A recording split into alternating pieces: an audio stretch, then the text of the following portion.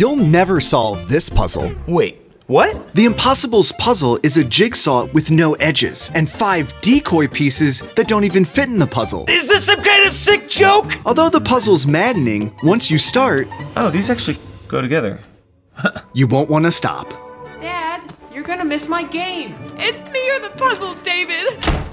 It's a three bedroom, two bath, and it comes with this guy working on this puzzle. I've got Park Place!